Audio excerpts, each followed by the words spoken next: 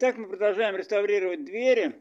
Вот вы видите, мы покрыли их сейчас грунтом промежуточным. И вот после броширования таким образом грунт интересно подчеркнул текстуру.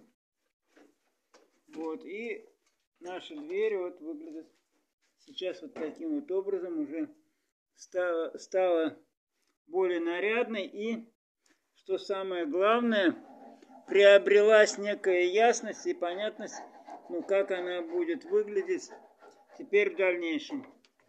Вот, напоминаю, что наша дверь до грунтовки выглядела вот таким вот образом. Вот, вы видите, совершенно не видно тут у нас ни...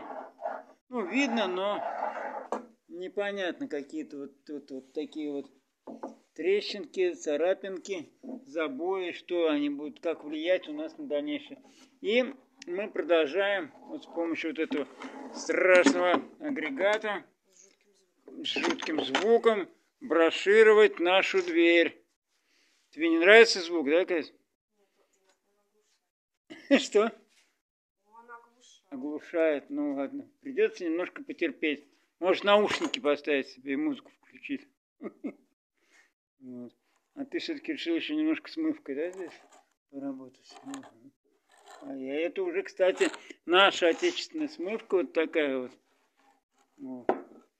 Тоже для лака она как-то у нас пошла в дело.